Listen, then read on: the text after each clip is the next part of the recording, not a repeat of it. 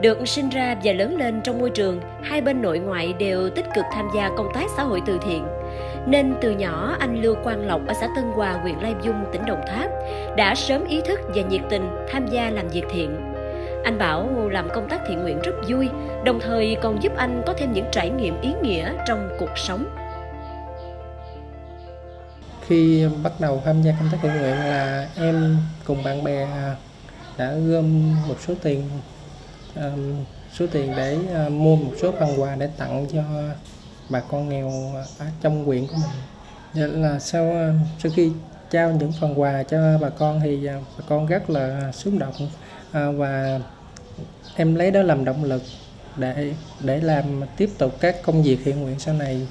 Hiện nay Lưu Quang Lộc là sinh viên năm thứ hai ngành quản trị lữ hành, trường cao đẳng du lịch Cần Thơ.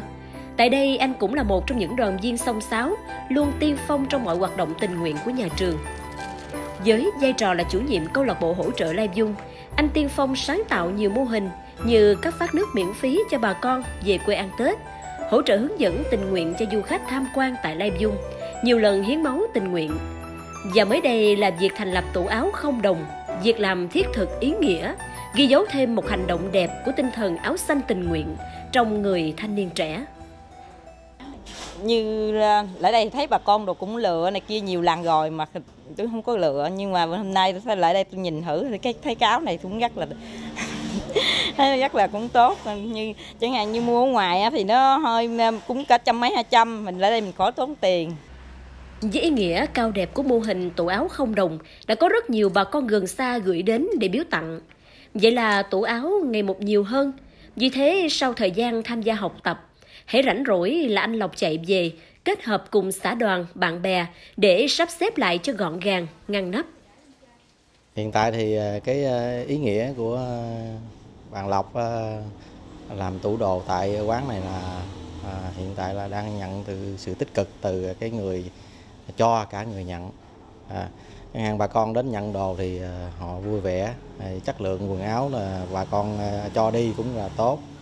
sạch sẽ, à, nói chung là cái mô hình này à, càng phát huy được thì càng tốt cho giúp được nhiều người dân hơn nữa. Mong là cái tủ này hoạt động dài dài hoài cho bà con rồi này kia những hộ nghèo này kia đó người ta thiếu hụt hay gì đó quần áo này kia người ta lợi người ta có người ta bận từ tủ áo không đồng với khẩu hiệu ai thừa đến cho, ai thiếu đến nhận, được anh Lộc khởi xướng vào đầu năm 2019. Tủ áo đầu tiên ở huyện Lai Dung Đến nay, mô hình tốt đẹp này đã sớm lan tỏa nhiều hơn ở địa phương. Bạn đã có cái tinh thần nhiệt quyết, ờ, dám nghĩ, dám làm của tuổi trẻ thì bạn đã không ngại khó nuôi dưỡng cái ý tưởng của mình và đưa nó đi vào đời sống, làm lan tỏa cho các bạn đoàn viên trong toàn xã cũng như các xã khác và nó đã đưa vào hoạt động có hiệu quả cho đến ngày hôm nay. Với đóng góp cho xã hội của mình, Lưu Quang Lộc đã nhận được nhiều bằng khen, giải thưởng của các cấp hội từ trung ương đến địa phương. Và mới đây anh đã đạt chứng nhận giải thưởng tuổi trẻ cống hiến vì cộng đồng năm 2019 do Cộng đồng tình nguyện Việt Nam trao tặng. Với anh những thành tích đó được xem là một vinh dự, đồng thời lấy đó làm động lực để tiếp tục hành trình làm đẹp màu áo xanh thanh niên tình nguyện của mình và tiếp tục trong tương lai em sẽ tiếp tục thực hiện à, công tác thiện nguyện à, của mình và phát huy hết vai trò của tuổi trẻ, của thanh niên. Như câu là, đâu cần thanh niên có, đâu khó có thanh niên.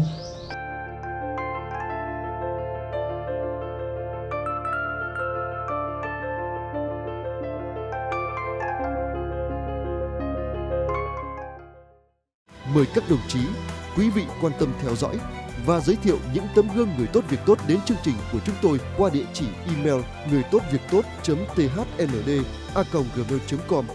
hoặc gửi thư về địa chỉ phòng xây dựng đảng, truyền hình nhân dân 71 hàng chống, quận Hoàn Kiếm, thành phố Hà Nội.